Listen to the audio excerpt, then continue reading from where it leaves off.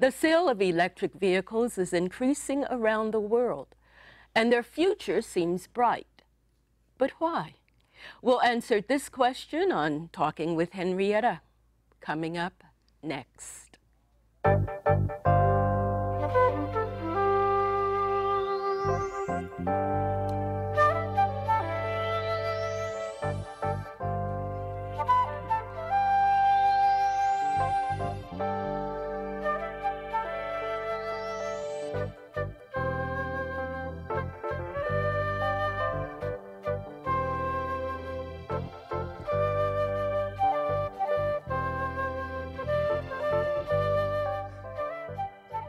Hi, I'm Henrietta. Welcome to the show. Some of the latest statistics show that the sale of electric vehicles passed the 2 million mark at the end of 2016. In the U.S. alone, there were about 542,000 electric vehicles on the road as of the end of last year. On this show, I'll talk with three electric vehicle owners about some of the pros and cons of having an electric vehicle and what the future might hold when it comes to vehicle ownership. My first guest, who is seated to my left, is Ariane Erickson. Ariane is in charge of special projects at Acterra, a Palo Alto organization that informs and empowers local citizens to take action on behalf of the environment. She currently oversees Acterra's Go EV program, which strives to accelerate the adoption of electric vehicles in the Bay Area. Jim Barbera is seated beside Ariane. Jim has been an electric vehicle enthusiast for nine years, and he's logged 80,000 all-electric miles. Since 2008, Jim has worked as a systems engineer at ChargePoint the nation's largest network of EV charging stations.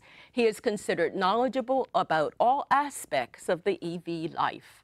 Ron Freund is my third guest. Ron has been involved with electric vehicles for nearly 20 years. Trained as an electronics engineer, he purchased a converted, a used converted electric vehicle and now drives electric for all of his daily errands. His family has three EVs. I was told that his formula for success is EV plus PV equals near self-sufficiency in energy. Well, thank you so much for joining me. So for our audience, and others who might not know, Ron, what's EV plus PV and how does that equal self-sufficiency in energy. Okay, let me uh, give some backgrounds. We're going to probably load up a lot of uh, acronyms here in this show. EV stands for electric vehicle, and that's one of my big passions. PV is photovoltaic, and those are the solar panels that are on the roof. Between those two things, uh, it's an equation where all my electric miles are powered by the sun, and uh, my electric, uh, electricity usage at home is also powered by um, the, the solar panels, so I'm almost self-sufficient. My goal is to be net zero, but I have a gas water heater. Uh-huh. And, uh, you know, I'm almost at self-sufficiency. I, I, look forward to the day when I can literally flip off the so grid. So can you imagine when we're all self-sufficient? Does that mean PG&E will have to go out of business? Hmm, interesting. Or other utility companies? Well, they're struggling right now with what we call distributed energy resources. And because it used to be the classic model, centralized power plant, big coal burner at Hunters Point in downtown San Francisco or wherever. And then more and more, and since last 20, 25 years or so, people are putting up their own little power generators. And those are called distributed resources. And they make the grid a little more resilient instead of relying on the power plant in some central place and all those wires. Well, I am sure the utility companies will find a way to charge us. Oh, you know it. I mean, like the water companies, you know, when you use less water, then the rate goes up. Yep. that so that'll be. Now, just to make sure we're all on the same page, when we talk about electric vehicles, what are we talking about?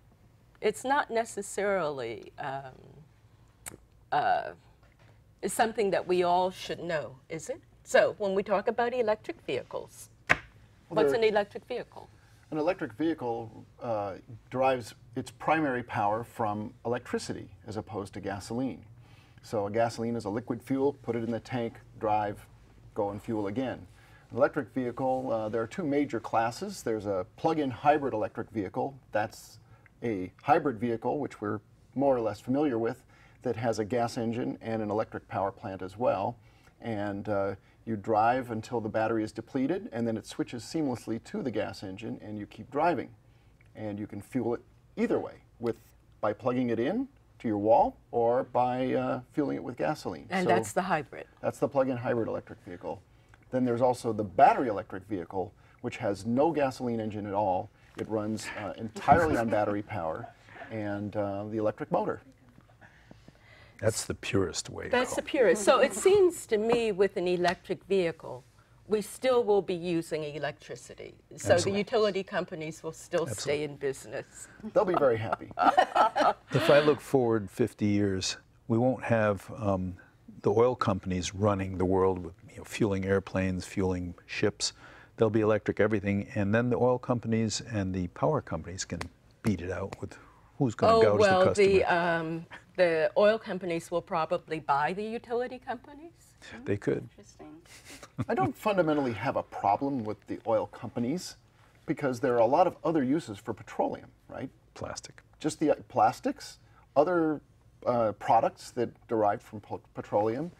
Uh, I just happen to feel that it's a um, thing we need to stop doing, which is burning it f- to move ourselves around. Uh, I think that's a bad thing, a bad use of that resource. Uh, it's there's much better uses for it.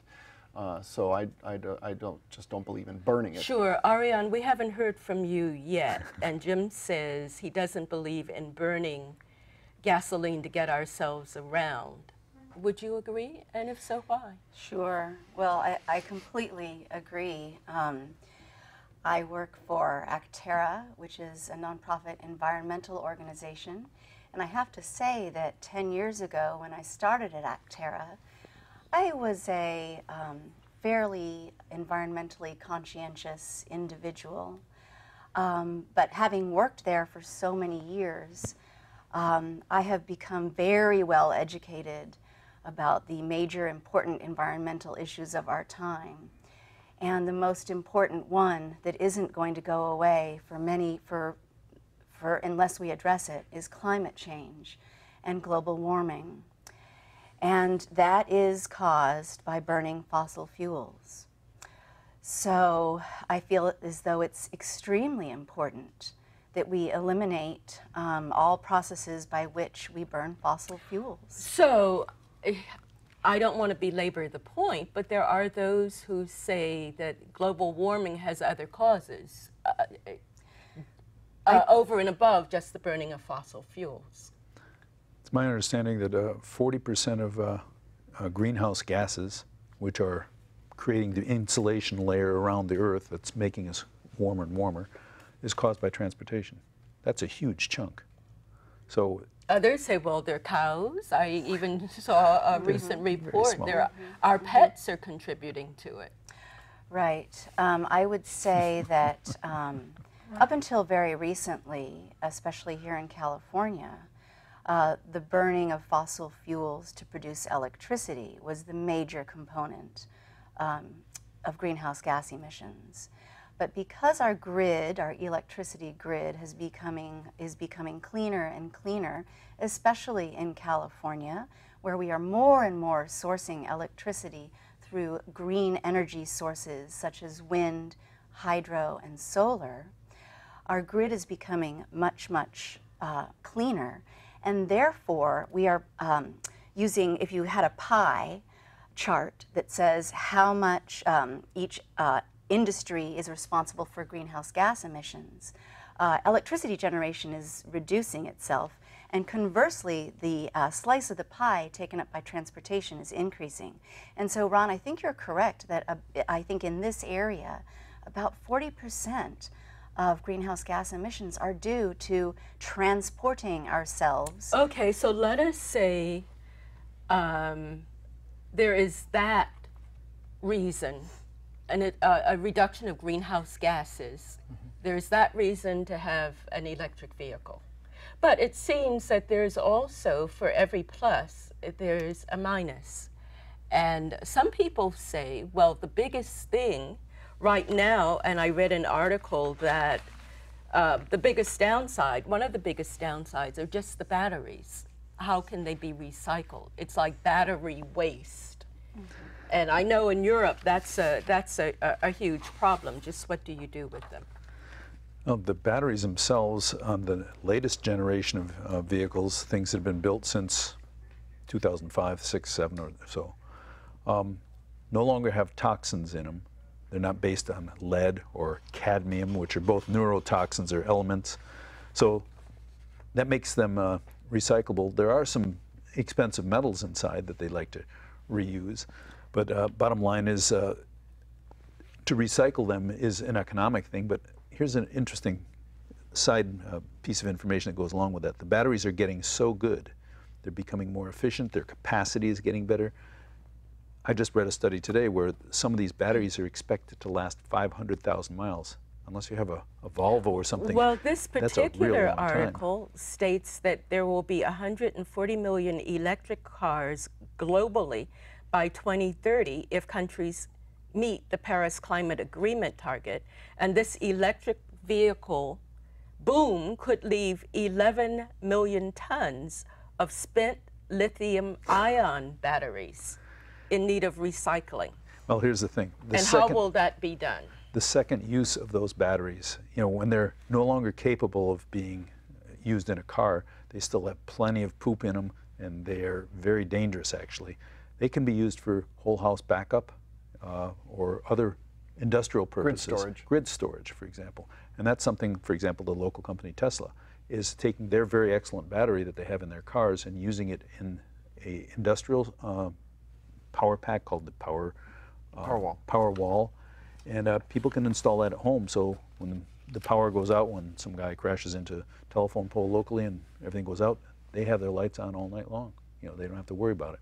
So the second use is real important. There will be less recycling going on than before, and the, the recycling of those batteries would probably be for a recovery of the, the expensive metals more than anything Now, else. the, the lithium, Yep. uh, you're saying that this says car producers will be accountable for the collection and recycling of spent lithium. Mm-hmm. And given their sheer size, batteries cannot be stored at home, and landfilling is not an option. Definitely not an option. Right. And it's not, it doesn't make economic sense anyway. Uh, lithium is a valuable resource. It costs a lot of money to extract. And um, that's not something that they're going to let go to waste. So those, uh, the, the, the, they will be reprocessed and turned back into batteries. So the other interesting thing is because they last so much longer, there's a very little chance. You know, people get sick of their car before they run out of battery.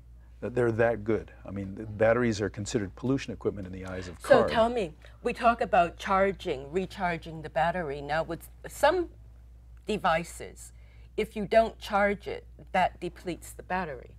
it decays by itself. Yeah. Yeah, so is, uh, does that happen with these types of batteries? Let's say the, the car might sit for two months, not a problem.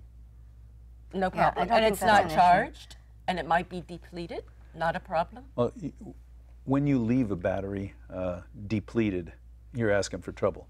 You know, charge it to the halfway mark and then let it sit two, three, four, five, six months, whatever. It's not a problem because they don't they don't leak. They don't self-discharge by themselves. Those are some of the frailties of the early batteries that self-discharge was a real issue. Overnight, you'd lose 10 miles. Oh, that's terrible. Well, where'd it go? And nowadays, they're holding their charge better, They're lasting longer, and the cycle life is out to the point where every 500,000 miles you need a new pack. I think I'll need a new car by then. Okay. Also, um, I should add that once you go EV, such as the three of us have done, you will be charging your car a lot because you will be using it all the time. There's no going back once you have gone EV. Now, one of the biggest complaints or one of the biggest concerns with electric vehicles is how far they can go between charges.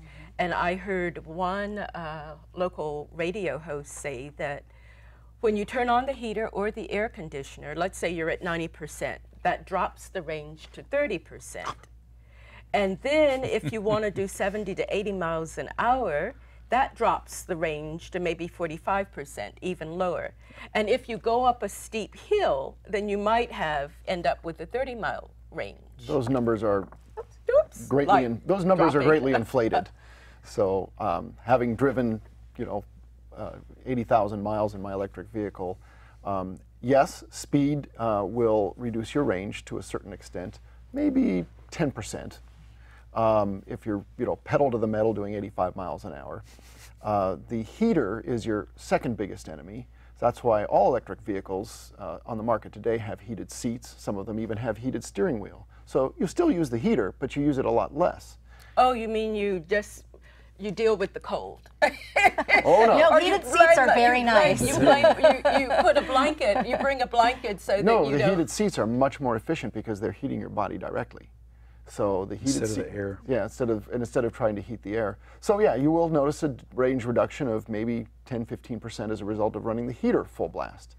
And so the this vehicle speed, you know, if you're going ex- in excess of 70 miles an hour, the range will start to drop off noticeably. and if you're going up a San Francisco hill, then yes, your range will uh, deplete faster. But when you go back down the other side, your battery actually free. gains charge. Yeah. That's the really cool part. And I love making this analogy. They don't have in flight refueling for gas cars. But for electric cars, when you come down the hill, you're filling your battery. If I go down the Cuesta Grade in uh, Uh, San Luis Obispo, it's, it's about a 1,500 foot pass. I gain about six miles in range coming down that hill just because the kinetic energy of the car, I'm saying let the motor do the braking. The motor will now be turned into a generator and make electricity. so Stick so it in the tell battery. me, does going down the hill make up for the energy loss going up the hill? Not all of it. Not all Oh, of it. Because I would It's say not other than that, you'd look for big hills, right? exactly You right. Go down. What goes up must come down. Exactly. down. right? Thank you. Exactly. I actually have a fun anecdotal story about going up a very large hill. I would say personally that my electric vehicle can take me most anywhere I want to go. It is good for 99% of what I need to use a car for. Um, but I am such an EV enthusiast that my husband and I decided that we would take our uh, 93 range Kia Soul to Lake Tahoe. And as you know, Lake Tahoe is it, you go Further up a than very 93 miles. and you go up a very large hill to get there. So I would not advise um, an individual to take a 93 mile range to Lake Tahoe. However, I can say that um, the ranges of electric automobiles are getting longer and longer. And um, the, there's a few game changers that we all know about that are coming to the market. One of them is already at market. It's the Chevy Bolt, and it has a range of 238 miles On one charge. on one one charge. charge. now That's that one charge, what would that run you? Dollar wise? Yes. Eight, ten bucks. Depends on if you How, charge. how from- many hours? Um, I Depends think on it- the level of charging. depends on- Yes, and I they have guess fast it chargers. I, I guess too. You know, I, I, I heard the same radio host talk about if you're a wealthy homeowner and you have your own charging unit, then you get uh, a deduction for that. The state gives you a rebate for it. Maybe fifteen hundred dollars, and you get some rebates Right. from PG and E. Yes. However, if you're a renter, uh, you can't have your own charging station. You have to plug it into your 10 volt. 120 whatever. volt. 120. Yes, and that breaks you, what, brings you into another tier, and you pay Lower more. tier. Can I speak to that? So, Sure, so for example, if you live in a mul- so if you're a renter and you're renting your home, um, the homeowner, the property owner, is not allowed to prevent you from installing a charging station for one thing. So that's On the outside of the house. anywhere. Yeah, you can do that. Now, if you are paying, hmm, if you're rent, well, let's see, how does that go? Doesn't that draw more on the building's electricity in absolutely, general? absolutely. Absolutely. So, But as a renter, you have your own account with PG&E. So they're charging you for the additional energy, electricity that you're using. And if you are a customer of PG&E and you use their electricity to charge your car, they will send you a check for $500. so you are saying a, a renter Mm-hmm. can install a charging unit Yes. Yes. And if you're on rent- the outside of the building. Sure. And if you're renting a multifamily, if you live in an apartment, um, the, uh, there are programs, and the landlord, the property owner, or the property manager can actually take credit. There are rebates for installing and providing electric vehicle you would charging have to, for you, your tenants. You would have to then get the approval of the landlord. Of course. Correct. Yes. So if you're living in an apartment complex, it is a little bit trickier Yes. to get a charging station because y- there's multiple units involved and there's a lot of users involved. If you're living in a single home and you're renting, it's a, it's it's an easier process. Or if you're the homeowner yourself, um, Jim Barbera, for example, he really wants to promote his um, you know EV charging, and so for your rental home, you actually provided the rental equipment for your tenants. Yeah, yeah. So I offered that. Uh, they currently drive gas cars, but they said, well, if they ever change to an electric car, the charging stations in the in the So, building. Uh, of, of course, uh, one has to then add up the charge of the purchase of the charging unit. Yes. What does that run? Anywhere from $295 to maybe 800 depending on whose brand you get. And then the installation can be done by And a that's not a monthly charge. No, That's no, it's a a- one- That's for the thing. equipment. Yeah. And then there's the installation, which is a one-time thing, but an electrician would, a a competent, licensed, insured electrician could probably do that from 300 to maybe 12 or 1500 dollars, depending how complicated you are. If you got to snake the wires all around. Depends on how far it is from the electrical uh-huh. panel. Aha. Aha. So there are some charges. So it seems to me you before you go into that type of cost, you really have to. Yes. believe that this is going to be a savings for you. Uh, yes, although, and I myself am a perfect example of this scenario, you do not have to actually install, install a charging unit uh, at your home or at your um, apartment because there are three levels of charging that you can uh, use to charge your car.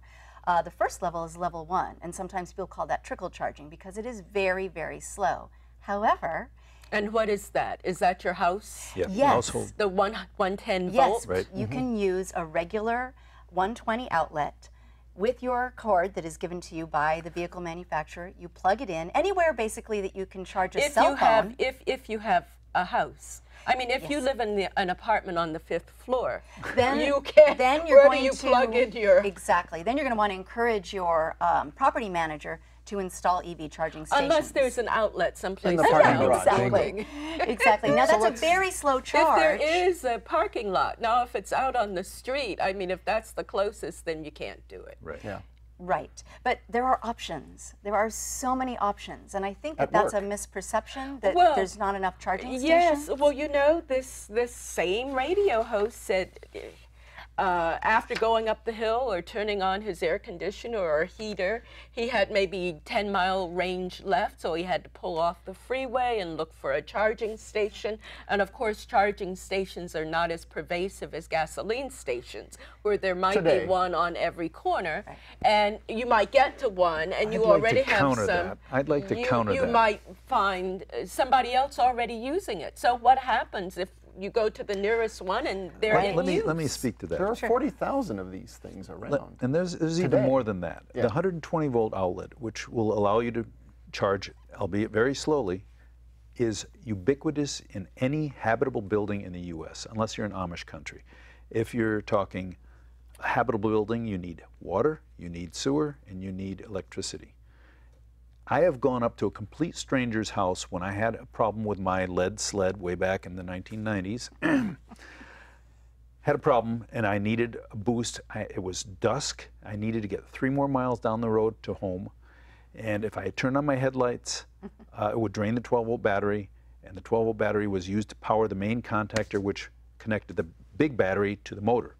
So I needed to drive around without my headlights. But I stopped at a guy's house and I said, $5 bill, can I borrow some electricity? And the guy said, Who are you? I said, I'm who in are trouble. you?" Come on outside and look at my electric car. And why would he do that? Come He wanted the five dollars real Yeah, quick. exactly. Just five dollars? And I have a, But you a know similar something? Way more than what the Let- let me electricity he finish. used was worth. Let me, let me finish. It was re- really interesting. The guy, first off, let me plug in, and I needed about 20 minutes worth of charging, and it was a literally a, a 12 volt battery charger from Sears, no less. And I had it with me because I knew this was going to happen, and I just hadn't gotten around to fixing my problem until that night. You know, I stayed up late to get that thing taken care of. We became fast friends. When I bought my real factory car in 2002, I went back and showed him, and now he's driving a Nissan Leaf. But the bottom line is, it started with I gave him probably $4.50 profit on 50 cents worth of electricity. I was there maybe a half an hour. We talked and talked, and I came back a couple days later and I said, I got it fixed. Here's what I did. And it turns out we became friends. And I still know who the guy is now, and we drive by there every So, day. Let, let us say you're on Highway 101 going from San Sure. Francisco down to Palo Alto. Mm-hmm. You don't have any charging stations on the freeway. Oh, yeah. They're right off. You Some of them pull are off right the off freeway. the freeway. But they're at the right at the exit. Usually within. You don't have gas stations on the freeway either. And the thing about it is, how available are they? Given the hundreds of thousands, and you know, I was reading an article that Tesla, by the end of 2018, wants to sell at least 450,000 mm-hmm. electric mm-hmm. vehicles with 10,000 a month.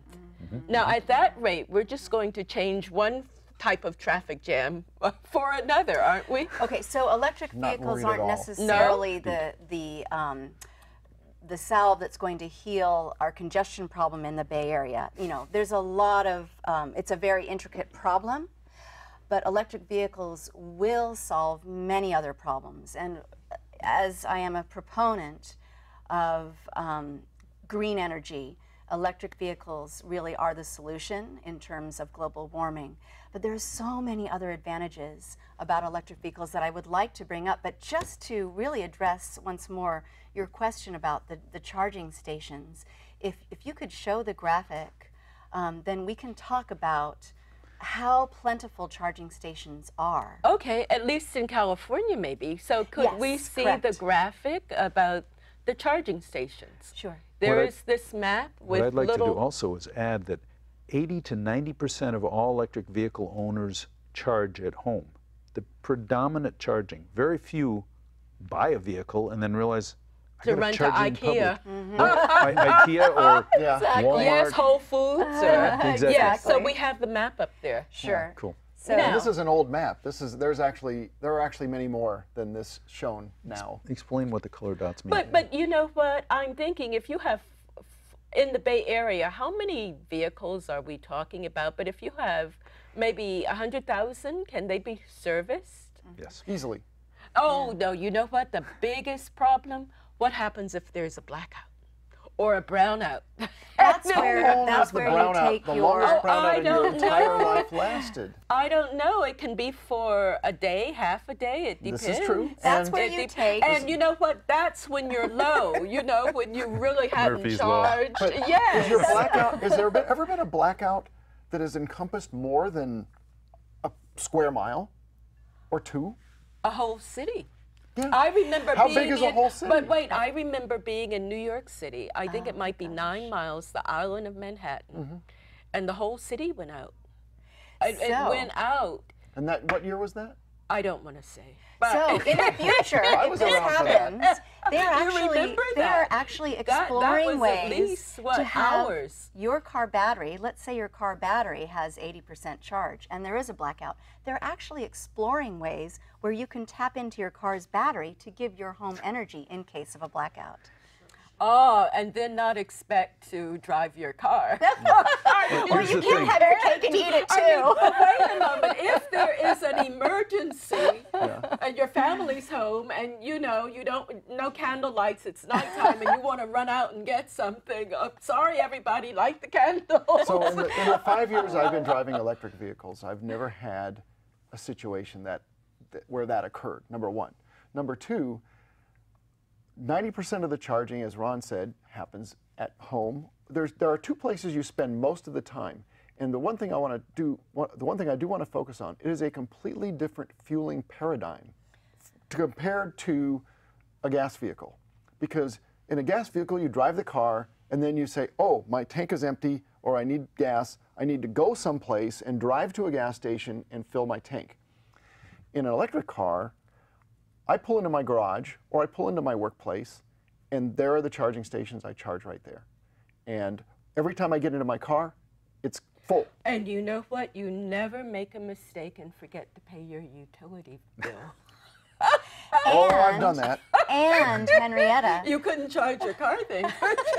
No, I would go to work and charge them. oh, okay. Now, do you remember it was only a few years ago when there were rolling brownouts? Remember when California. Rolling was blackouts. purchasing electricity from, I don't know, the Midwest? Oklahoma. And there was some type of game going on with the utility companies. funniness. So what ha- yeah, so what happens then? Right, so that's when you buy a used electric vehicle battery to use as backup electricity storage. And there solves the issue of recycling the battery. Even though uh, the batteries can absolutely, I agree with both of you, be recycled because the components in there are highly recyclable. So And there's a market. And how There's a market for those That's the most important, the most expensive thing about the car, the battery, Absolutely, right? absolutely. So how Single, much does single the most battery? expensive component. A Nissan Leaf battery will run $5,500 Oh my God. Replacement. replaced. Replacement. Yes.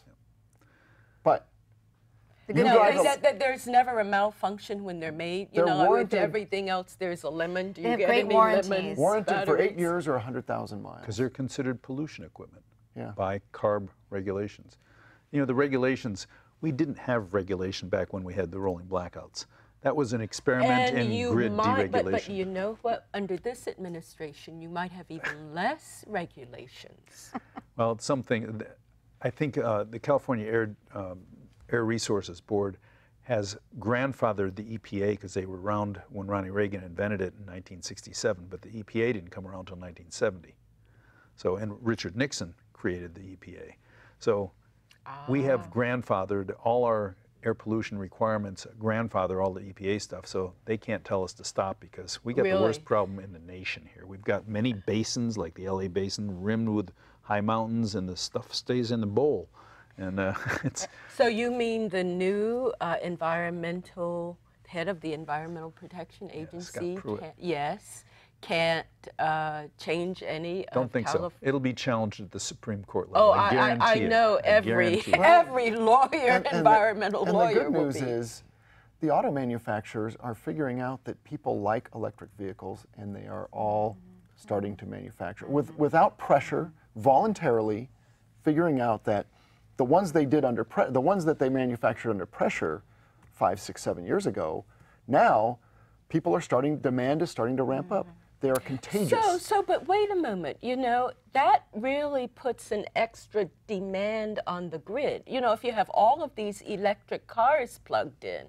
air conditioners put a bigger here's the demand on the grid than the Yes, elec- but, but, Your dryer puts a bigger demand on Well, the Actually, that's not quite true. okay. Here- no, here's- here's so, the- so here's wait a what it moment. goes. So you have your dryer, you have your air conditioner, Mm-hmm. and uh, there are hundreds of thousands of electric vehicles plugged in.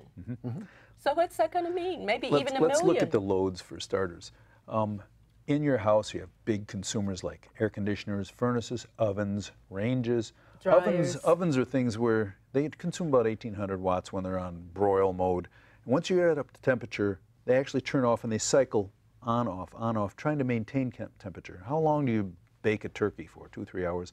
It's never full blast, 1,800 watts for three or four hours. Now, a hot tub heater, when it's trying to heat up the heat, uh, heat up the water, that's a big consumer. It'll be on six, eight, ten hours, whatever. But the biggest single load is an electric vehicle because it's 100% duty cycle means there's no cycling. It's just full blast until it's done. Okay, so there are hundreds of thousands or millions of them plugged in. Right. What type of load? Let's say for a city like Palo Alto, 56,000 or mm-hmm, mm-hmm. 59,000 people, and if 30,000 of them have electric vehicles, which would not be inconceivable, mm-hmm. three per family, that would be mm. even more like Here- you. here's the thing, let's say say- 60,000 plugged in in a city. What does so that they're already at 5%, 5.5% of the registered vehicles in the city of Palo Alto are plug-in or elect, fully electric, plug-in hybrid or fully electric. The good news is they're not all going to descend on us tomorrow. The grid will grow to meet this demand. Sc- The, the demand, in other words, they're not hap- they're not So coming wait overnight. moment. Wait a moment. How do we know the grid will grow? Let me, I let mean, me we cite have a, to. Let me Because- cite a study from 2007. EPRI, the Electric Power Research Institute, right up here on Xerox Sand Hill, Hill, yes. Sand Hill Road. They have Yes. charging stations in their parking lot. Yeah, good. Um, they did a study and they said if magically we could say all light duty uh, trucks and um, car passenger cars in America to switch right now and become electric, 83% of them would be able to be fueled without building a single extra power plant. And this was done 10 years ago, and things have gotten a lot better, but the grid has been more stabilized. We have even more renewable sources, and we've been decreasing our number of coal burning stations by replacing the coal burners with gas, natural gas burners. Still a fossil fuel, but it's, it's cleaner. So way back then, they said, pshaw, let's, let's not uh, fan the fires of hysteria, and you know, the grid can handle it. And since then, many other studies have gone, come along by unions of concerned scientists and uh, Lawrence Livermore Labs, the national labs, uh, it's NREL, um, National Renewable Energy Lab in Idaho. They've done all these studies, and they have said we have no problem with additional power. And the bigger issue is getting the power from where it's being generated to those faraway places like downtown Laramie, Wyoming. I mean, everybody needs power, but there aren't necessarily power plants nearby there. So, do you know, I, it, it makes me think I can remember there are times when we're told, and I can remember like within the past two years, don't everybody use your washing machines during the daytime? Remember? Because of the demand on the electric grid or all uh, or the air From air conditioners. conditioners. Yes. So if that's a problem just in and of itself, and that's recently, Mm-hmm. how all of a sudden are we going to have enough?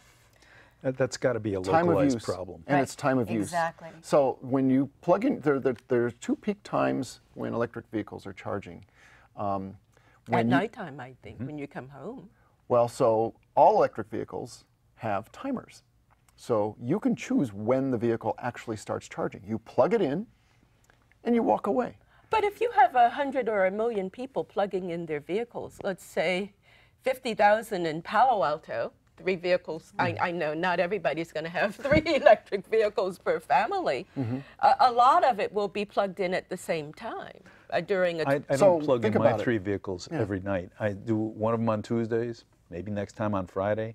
So last night uh, I plugged one car in, first time in a week. The I random just haven't nature. But that's, that's one house. That's one household. Sure. Mm-hmm. But if you multiply that by 30,000 people, See, that's where the computer nerds get really good with stochastic modeling. They model all these things. They say, with a random nature, this guy's only going to charge that long, and that guy's going to do that long. They model all that, and that's where EPRI comes up with their estimates and saying, we don't have a problem here yet. And Yet. it'll be a long Yet. time to convert Yet. the entire population of mm-hmm. vehicles. Mm-hmm. We've but, got but 100 the way million but the way. Tesla's doing it, just Tesla, talking about 430,000 Per year, by but the end of not all going in 18 one and city. 10,000 per. They're- not all going in one place. They'll be So, shipping them the to ele- Europe yes, and but to the China. electric grid, the elect, you, how many electric grids do we have in this country? And does some of it come from Canada through the Midwest, and we're all dependent. it's all one grid. Yes, but- and when one part of it goes down, doesn't that affect? No, not necessarily. They're, they're, that's where Cal ISO comes in, the California um, Independent I'm System glad you're good when you did say that there would be these acronyms. Yeah, the California uh, Independent System Operator are the people that run the, uh, the, the grids from the three, three big uh, independent uh, owned utilities, uh, PG&E, Southern California Edison, and S- San Diego Gas and Electric. They kind of orchestrate that. And then there's all sorts of other little ones like Palo Alto Municipal. Santa Clara has its uh, own municipal utility. And you know, the people in Santa Clara have a fixed rate. They pay 10 cents a kilowatt hour for forever. And the big, uh, you know, the big industries like Intel, they get hit for the big charges. Uh, but the California ISO, they're the one that orchestrates all that. And they say, hey, we need a little more power from the Bonneville plant up there on Portland's, uh, what, Portland, the Columbia River. And aren't those hydroelectric dams or They are, something? and they send their power and, south. And, yeah, but do those dams ever have problems? I think they do. Sometimes they I take know a one generator of them out was, of service. Yeah, Yes, they'll and, fix 'em. and yeah, to, and drain it to fix it. or- Well, the, you I can't think that stop the Columbia with- River. Yeah, but I do remember reading just recently, it wasn't Niagara Falls, that one, Hoover Dam, I think it was Hoover Dam that was mm-hmm. cleaned the first time in maybe mm. 50 years. and They were maybe taking advantage of time the low water level. Yeah. and the first time the water was stopped. And it was, okay, so what happens to the electricity from the Hoover Dam? Well, see, It's made up by other other sources. Ah. The, the And electricity in, in a time of drought, what happens? Like in California, when there was the water level was so low. What drought does that is, a, do is, for is a- not a, power? a phenomenon that happens very quickly. It's a very slow coming phenomenon. We had drought for five years, and the grid is live and dynamic. Every second, we need to be able to balance the high current demand from here and the extra feed from there. That's what the Cal ISO does. They shuttle the power okay, around. so let us talk about if there would be any effect because of global warming. Would that in itself, with that increasing have Again, That's effect? what we're trying range- to do by driving I electric know, vehicles. I know, but it's a long term you know, effect. there's It's a very yes, long but I'm, term I'm thinking, how will that affect electricity, the demand for electricity? If you're only talking hydro, we're going to have a serious problem. But we're talking wind. There's huge gigawatts, lots and lots of wind of being solar. grown up in the last five, six, seven years. And we're adding solar faster than we're adding any other source. In fact, solar and wind are now very price competitive with coal and nuclear. Let in us fact, hope it's even better. It's, mm-hmm. it is, and it's So- going lower So and lower. So has anybody told Trump? So in people? 2000, so I want to give you a I want to give you a couple of numbers. Who's increasing the coal manufacturing? No, I would like to the- give you some numbers. So, Okay. so in 2008, and I used 2008 because that's when I started paying attention to where the electricity comes from, because that's when I started being interested in electric vehicles. And the first thing I ha- heard, and actually I believe this myself, well, they're just coal-powered cars, right? So 48% of the electricity generated in 2008 came from coal, nationwide, U.S. U.S. grid mix, okay?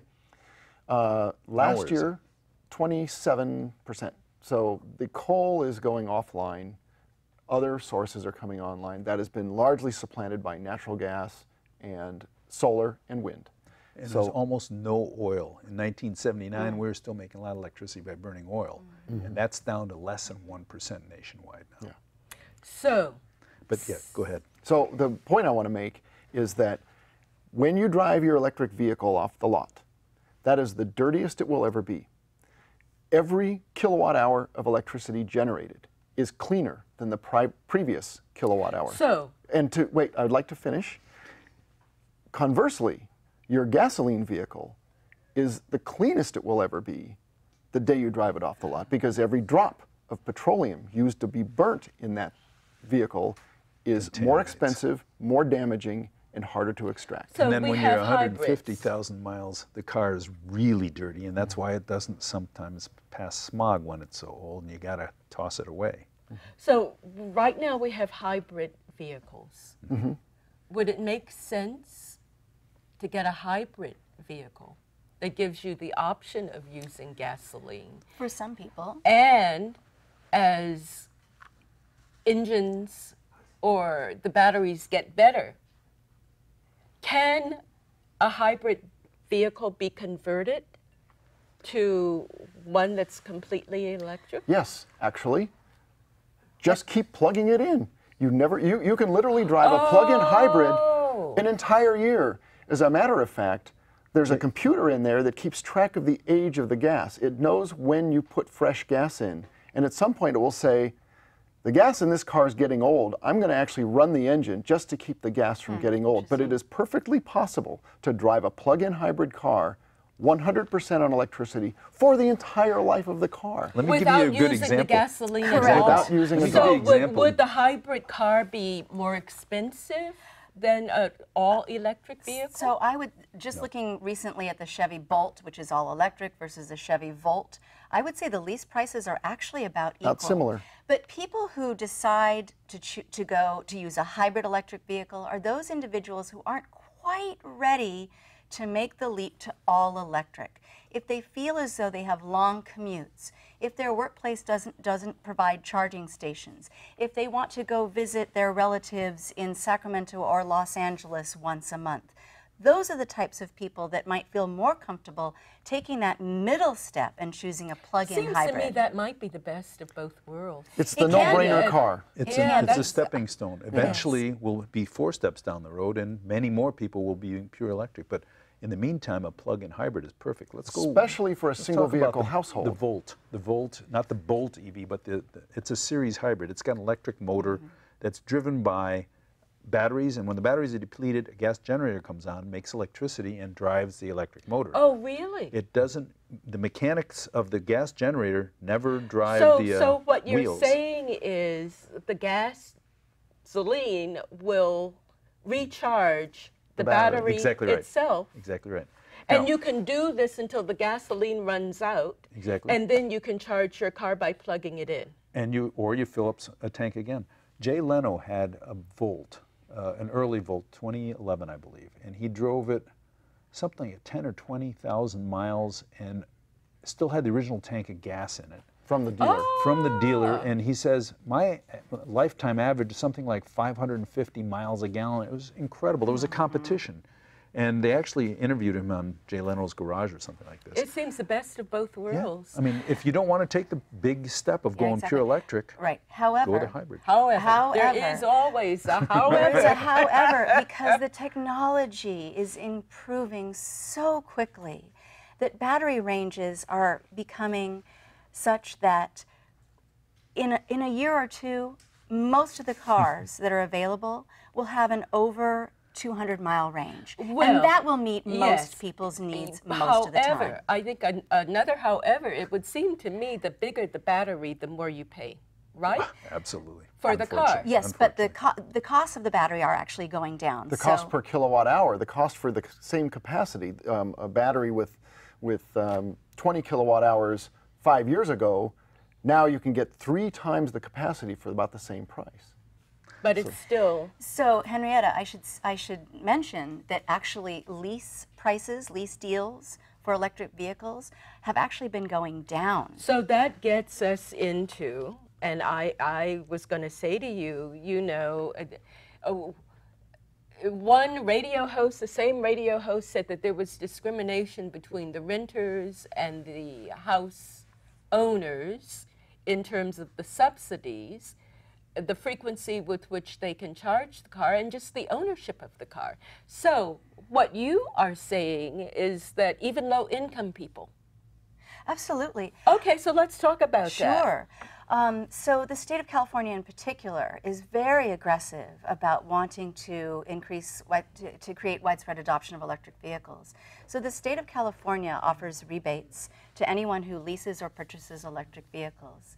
Um, and I should back up and say that this is on top of a federal rebate that we don't know how much longer it will be around, but it is a very substantial Federal tax credit. Yes. So, do you mean I should, at this point, think of not driving my 22 year old car, even though? well, what I should say is It's these dirty. financial incentives have been provided to early adopters in order to spur widespread adoption. so, who is an early adopter? you can be an early adopter, and we're early adopters. You all are early adopters, mm-hmm. given how long you've been, you know, Yes, using. exactly. You I would Yeah. think I'd be a late adopter. No. How do you define an early No. adopter? Well, you It's actually, still early. It's still early. It's very early. Even though there are so many electric vehicles, as you quoted, on the road, there's still less than 1% of all new car sales in the nation, slightly higher in the Bay Area. So you can, anyone out there right now can still be an early adopter and can still benefit from all of the financial so we, we, incentives. we have a chart, I think, with some Sure. figures. Yes, we and so if we could pull up that Yeah. one chart that we have. Exactly. as Ariane Yes. talks about Sure. it. Um, So let, let us get our, or, or you can say some, Yes. oh, oh, here we go. Okay, great.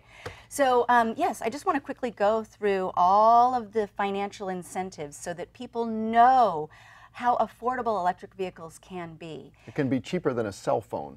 Oh my goodness, what cell phone are we talking Well, about? Oh. I mean, the monthly the monthly lease payment can be lower than what so you do pay you to, know lease, I to have have one a cell of phone. these. I, I have one of these pay He's as you kidding. go, and for three months it's Right. like nineteen dollars. Can't beat that. I'm sorry. Although I did see a Volkswagen e-Golf a few months ago, the lease offer was $29 a month. Really? I'm not kidding you. Where was it? It was uh, in the East Bay, Richmond, I think. Oh, Okay. Is it still available? It was a few months. So we- There will be others. Those are gone, but there will be others.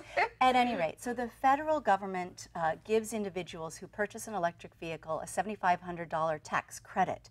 And that's um, not exactly cash in hand, but when you do your taxes, it reduces the amount that you have to pay if you owe taxes. So if you owe $10,000 worth in taxes on a given year that you buy your electric vehicle, that amount that you owe is reduced by $7,500. Question, if you don't owe, You have to owe. You have to. Let me be, let's be clear about this. if, if you do a refund, Oh, You don't get the to do- 7,500 It's not. It's not a matter matter of whether you owe or get a refund because of your withholding, because you're withholding throughout the year, right? They're usually taking a little bit out of your paycheck because they don't want you to owe. They want you to about break even. But what they're saying is they're reducing your tax liability. So even if you break even, you will get $7,500 reduced from your tax liability. So even if you've been paying and you're, you're due a refund, now you, that refund, let's say you're, you're due a refund of $1,000 or $500, that refund will increase by $7,500. so you mean that would be cash in hand, or that would be you credit? got to wait till that that would be no. April You got to wait till the following. You got to wait till the tax. You do the taxes for the year you buy the car. So if you buy a car in 2017, you would do it on your in 2018 and your 2017 Would taxes. that be equivalent to getting cash back? yes. Okay, Oh, so really? Yes. So I'm sorry. Th- then my information is potentially wrong because my understanding was that it takes um, reduces your tax liability, but it does not. Um, If you have that go- tax yeah, if- liability, but if right. you don't, That you don't get a refund. But you know, ask your tax accountant about. Mm-hmm. That I'd would love be one talk. reason why you want a lease because you can negotiate your lease so that the dealer will get the ah. 7,500. Actually, it's the finance company. Thank the you. The finance company takes the $7,500. The feds give that to them immediately, and they'll reduce the price. They don't have to. They're not obligated to reduce the price by that $7,500. But if they don't, take a walk. oh, I because you'll find- certainly would. If Right. they're getting seven thousand five hundred dollars and they don't give me the Credit for benefit it. of Exactly. it, Because they want to move that car. Right. So they want to get that car off the lot. So that's that's, the $7,500. $7,500 from the federal government tax But wait, credit. there's more. But wait, there's more. There's As I mentioned, the state of California is aggressively wanting people to go EV, so they are offering an up to $2,500 rebate if you purchase or lease an electric vehicle. Now, the, that's the size of the rebate is based on the size of the battery. So if it's basically if it's an all-electric vehicle, you'll get that full $2,500. If it's a plug-in hybrid, you'll probably get more closer to $1,500. On top of that, if you are a low to moderate income earner, there are additional rebate that you get from the state of California. So that's where our chart um, comes into play. So if you look at the chart and you think so about can your can we pull it up one more time? Okay, certainly. So if you look at the chart, let's say you are a family of four and your combined household income is less than $73,800, you qualify for an additional $2,000 rebate for purchasing or leasing an, an electric vehicle from the state of California. So that's a total from the state of California, that's a total of $4,500. And if you buy a recharging unit, you even get more. And uh, um, not if, but if you're a PG&E customer, Uh. you get a check from them for $500, and that can be used towards the purchase of an e- of a level two e- uh, charging station, which generally run around $500. Only if it's PG&E, but not Only if some you're a other PG&E local customer. uh, uh, not not any local ones like Palo Alto Utility. Uh, the or- city of Palo Alto doesn't have that incentive Uh-huh. because they're their own utility. They have other incentives actually for within the city of Palo Alto for EV charging stations. If you are a, um, a multi-unit dwelling or a nonprofit organization, uh, you actually can get rebates on installing your charging systems. if So you're a nonprofit. if you're a nonprofit or a multi-unit dwelling. So if you're a nonprofit, can you buy or lease uh, an electrical vehicle uh, Well- with rebates? So, for example, Acterra is a nonprofit, and um, we're an environmental organization. So, one of the first things we did was uh, purchase a charging station, and we supplied that for our staff. And it's the staff of the nonprofit that go ahead and purchase or lease the electric vehicles. But the nonprofit doesn't get credit for, let's say, purchasing electric vehicles. Well, it depends. If you're in the city of Palo Alto, they are offering uh, subsidies for the Oh. purchase and installation of electric vehicle charging stations. Okay, just the stations, Just not the stations, vehicles. exactly. So in the five minutes that we have left, I know time goes by so quickly. Oh, there's more benefits that we would love Well, to talk let's about. talk about the benefits, but we don't have much. The five went to three. All right, can I take one? um, if you, it, so if you purchase or lease an electric vehicle, you get a sticker that allows you to drive in the carpool lane, even if you are the only person driving your car. So you can imagine what benefit that is to daily commuters. And how full the carpool lane is getting. I use the carpool lane sometimes when I need to, and Yes. um, on my commute to Campbell every day is clean and green. I've never Oh, gotten Terrific. So uh, I would like to take one. It is the ideal car for busy people because there's no maintenance. Wiper blades, washer fluid. Um, you, want, you can change the cabin, the air conditioning filter if you have one, um, and then rotate tires. But otherwise, there are no timing belts, tune-ups, oil changes, no smog checks. So think of all the time you sit- Fuses. well, fuses are there in any par- car, but when was the last time you blew a fuse in your car? so, in terms of routine maintenance, there is none, really. There is. Um, No the changing the don't like it. oil. Nope. No. Dealers don't like them because they like to have you come back. And, you know, Yes, but wait a cradle to moment. grave. We'll if you have a, if you have a hybrid, it's the same thing. then there's a little bit Then more there's a little maintenance. bit But the engine almost never runs. So the engine isn't based on months or miles. It's based on hours of the engine running. So if the engine doesn't run, they so they have a oil life indicator on the computer, and it basically says, well, you're hardly using the thing. You don't need to change the oil. So it doesn't. It's not by every 7,500 miles like it is in a car. Okay. Where do you start? I, I'm I'll just, take another I'm, one. I'm super enamored by the fact that I don't have to go someplace. Uh, my wife has often in the past kicked me and said, "Ah, I got a meeting in Palo Alto tomorrow. The little gas light came on. Can you go fill it up? So I pull on my pants and go, to the, oh, you go down that. the Rotten Robbie or whatever and tank it up. Being able to fill up at home means I don't have to go anywhere. I come home and I can always wake up with a full tank. That to me is really, really nice. Yes, a- a- as long as you more remember to pay the the utility bill. You keep coming back to the utility yes, bill. I've got one more. One more. Okay, and this is probably a nice note to end on. Electric vehicles are just more fun to drive. They're quiet, they're smooth as silk, the acceleration just flows. The acceleration from 0 to 30 beats any traditional gas powered car. You like hot and rodding? if I could just make one little tiny Well, you can, except for the fact we need to have people know where they can contact you if they Absolutely. have questions. Sure. So any of us or any of Acterra's EV ambassadors, which are basically EV owning enthusiasts, can answer anybody's questions uh, by going to acterra.org Acterra.org. and then slash go EV. Ac- a- Acterra.org slash Go go EV. Okay. And they can um, fill out a little form and request an EV consultation. And you can get Ron, you can get Jim, myself, or any other um, electric vehicle owner that will give you a call and answer all your questions and concerns that you have about electric vehicles. Well, I've had a lot of questions, and I think I've been fortunate having you to answer them. And so maybe uh, you can get some callers who will ask you questions that I didn't ask you. We're ready. It'll be a pleasure. or Indeed. just to restate some of the benefits and add more benefits. So I'd like to thank you for the insights you've given us about the benefits and the cons of having I don't think any of us will say that there's any cons. thank you. I'd like to also thank the viewers for watching. Until next time. Thank you.